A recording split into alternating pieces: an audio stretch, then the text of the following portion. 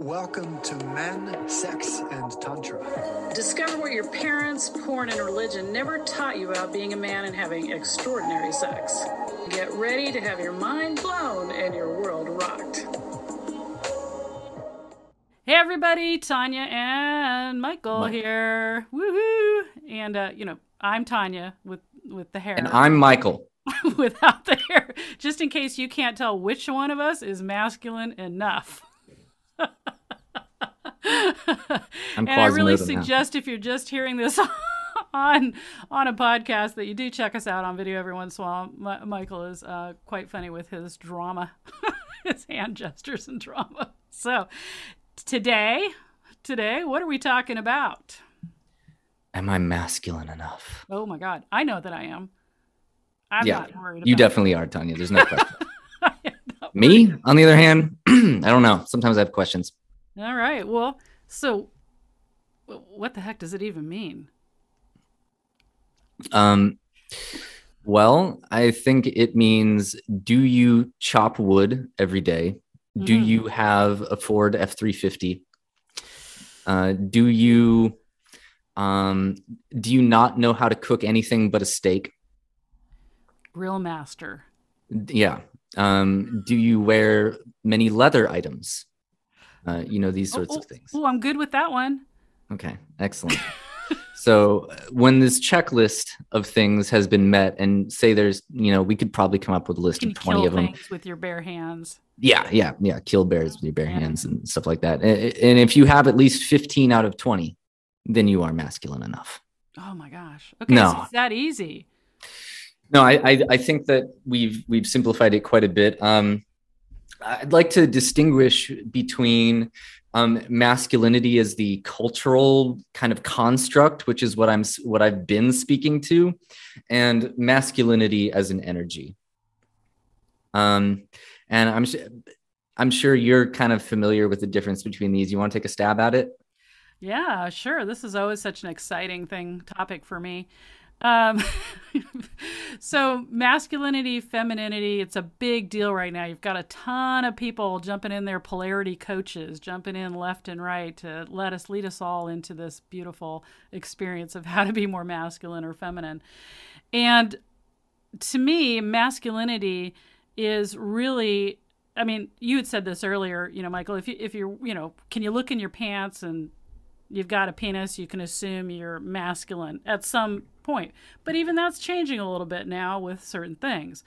So describing masculinity to me is more of a way of um, pushing into. So if I were to say feminine and masculinity, I would say masculinity is more a stepping into, and femininity is more of an allowing. Yes.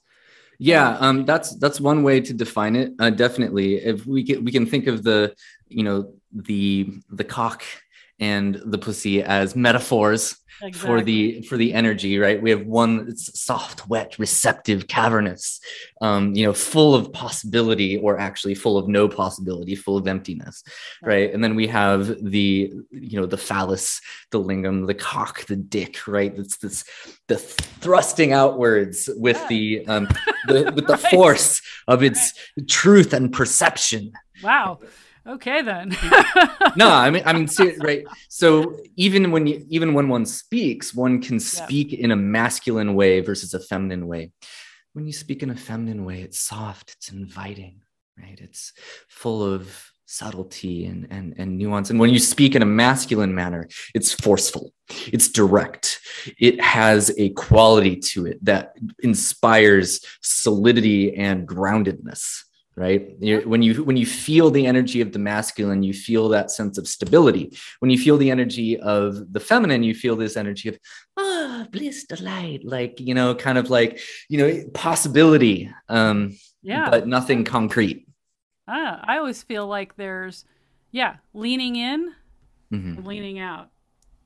You know, when I'm trying to explain this to people, because I, a lot of this, like this idea that you femininity or masculinity or masculinity isn't doesn't have a receptive, soft experience to it either. To me, is limiting because I think we are best when we dance through both. Yeah. Well, I mean, and then there's to get to the question. Yeah. What um, the question is, am I masculine, am I masculine enough? enough? So first of all, I think it's it's important to delineate who asks these questions, why they ask these questions, and what are they hoping to gain from the answer. Mm. Uh, so first of all, I think that the, the the number one category of people that tend to ask this question are men who are worried that they are too feminine, not masculine enough. Yes. Okay. Um, and uh, typically that arises as a, given a vacuum, no human being is going to be questioning this right? However, there's usually an impetus that causes a man to question this. Right. Either he's dumped because you know the, the woman is like, "You're not man enough," or "I need this," or "I need that," and you're not this or that, right? Yep. Uh, or they see somebody talking about, uh, you know, how David, they love they masculine men. Deida. They read David Deida or went to a Neo yes. Tantra retreat. Ah! and they got this idea of what masculinity is supposed to be and they're wondering they've got a you know they've got their their ruler and they're seeing if they measure up to that standard yeah um so uh the second category of people who ask that question would actually not be that question it would be um you know is the man that i'm dating masculine enough for me I think you'd think that would be a pretty easy question to answer. Yeah. Um, well. Yeah, but how would you answer it? Um, that we kind of like a yeah or no. If I'm dating him, he's probably yeah. Yeah. Oh, is he leading enough? Is that oh what? gosh, that, that's a whole separate. Yeah, right. is he masculine enough? I would imagine that if I'm attracted to him and I've had sex with him and uh, I'm in dating him, yeah, he's masculine enough. Yeah. Well, I think that uh, the the the first answer to that question that I would give to a man who asked it, "Am I masculine enough?" Um, I would say I would I would ask him, "Well, what makes you ask that question?" And they would usually, you know, give me one of those reasons that I cited earlier, and I would just ask him, "Do you feel that you're masculine enough?" I know, right? and um, because ultimately right it doesn't matter how other people perceive you it's it's how you feel internally right? If you feel that you're good with yourself fucking own it yeah. right? Owning yourself is the is is the number one like most attractive quality that you can really ever have as a person right? That's confidence. 100% um, and simply by deciding that you're okay with how you are you're immediately going to be more masculine Ownership. Yes. Ownership of self equals masculinity. Um, I would say sometimes. Um, sometimes it it is it is the, the precondition for the uh, for the living into the world in a confident way which allows for masculinity as an expression, but it allows for anything as an expression, right? You can own yourself and be totally flowy and feminine. And that's cool too. Yeah, absolutely. My the most masculine man I ever dated was a Navy SEAL guy. You know, there's the epitome of masculinity, right? Navy SEAL dude that you know could kill things with his hands and do mm-hmm. whatever he was. And uh, one of his favorite things to do was to um, express himself in poetry and express himself in music and express himself. One day he he came out and he was wearing my leopard skin skirt and he goes awesome. I love this.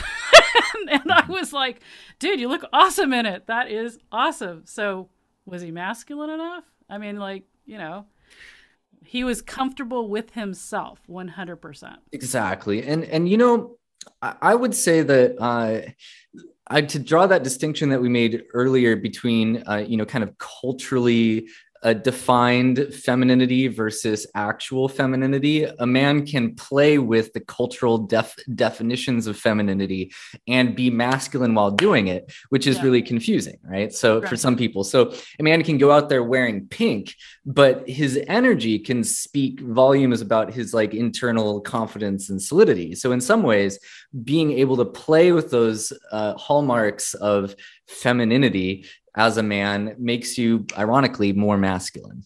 Yeah, because you're yeah, because of that confidence. Yeah, exactly. Because of that feeling. Absolutely. I personally love uh, masculine uh, that look like masculine men yet can play in the feminine realm because I don't want to just be one thing because as you said I tend to be quite masculine oriented except when I'm in relationship where I blush and giggle which blows people's mind because that is not the way people think I am.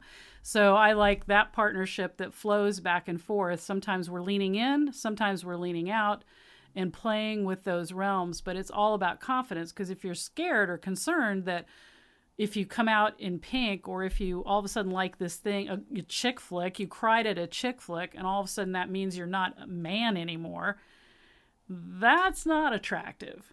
Yeah. Now you're concerned about that the what a lot of people define as as masculinity of like the not crying the not being particularly emotional those sorts of things. Right. um i have a tendency to think that has very little if not nothing to do uh, with masculinity. Uh, that strikes me simply as conditioning. 100% um, so you know it, it is true that m- like male and female brains function differently and the the way that men and women process emotions is often very different but the the the, the strength and power of those emotions um, are no different. They're just the yeah. way they're expressed. Yeah. Yeah we're all emotional beings absolutely and if we can jump in and own all of our emotional beingness then we're just more of ourselves which yeah. is a good thing, being more of ourselves. So, you know, earlier today I talked to you about like I was looking for a cowboy with a man bun. Now you get it. I want that rugged, masculine exterior or active, you know, guy that does that, but I want him to be able to cross those lines and be totally comfortable in that other realm. So, okay. Way, way easier to find queer men with mullets. that exists. Yeah. It's a whole thing. I just moved yeah. to the south, man. It's everywhere. It's everywhere. There's like these dudes all like tatted up. They're like uh, they're they're queer. They got a mullet. Like, you know, they're real and they're really expressive, which is yep. strange. I'm like, who are you? and you know, the thing about masculinity that's interesting also, just to say, I've lived all over the world. Masculinity looks different in different cultures. Yeah. Um, I tell you know, uh, I had this argument with um, Jonathan Hudson once. Uh, uh, I don't know if you know him, but anyway, uh, we were talking about what is the most masculine fragrance, and he says it's sandalwood. I said it was rose. And you know, if you go to the Middle East, uh, rose is a very masculine fragrance. Yep. Right? Um, but here, here in the United States, we we think of it as a girly thing. Um, which well colors too right? In yeah. different in different cultures different colors. Uh, so colors the way uh, people act the way men act it, it's different all all around the world. And so i think that which we started with was that if you feel masculine enough whatever that means to you then you are. Mm-hmm. right? It's like not a it's not something for somebody else to tell you what that looks like. And if your girl's telling you you're not masculine enough, get a new girl. Absolutely, right? Because you're just not her person. Yeah, exactly. She's wanting something other than what you are, which is never, never a good thing to have in a relationship. What? Come on. That's so like, what?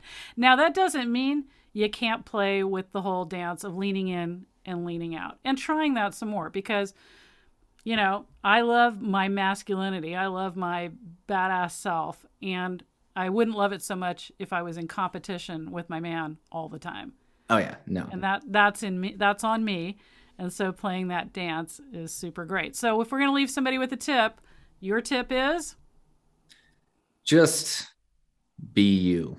Uh, don't worry about whether you're masculine enough or feminine enough. Um, you don't need to change yourself uh, to make anybody else happy. But by the same token, I highly recommend playing with different energies. So if you want to play, if you're an indecisive person, right, as a man who asked this question might be, what if you just decided that you were going to make every single decision and just stick with it and be like, boom, and play with that for a day? and see how that feels, right? I'm going to become more decisive. That can be a fun experiment, but don't do it from a place of needing to be different than you are.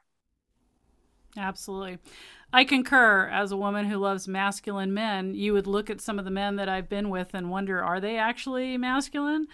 And to me, it's all that energetic dance of the ability to lead, lean in and lean out, to push in or to hold back, to do that whole thing. And it's not really a look per se, it's a dance. And I think we're all fluid, and I think the more fluid you can be, the more texture and excitement in life. Yeah. Be you, be you, be you. Don't, don't changing around for pe- changing your essence for people. Yeah, is a tough, tough road for everybody. All right, that's it for today. We'll see you again with some more great stuff. Remember, you can reach uh, any of us, either of us, both of us, just by going down and clicking some links where we are in the comments. And we welcome hearing from you. See you next time.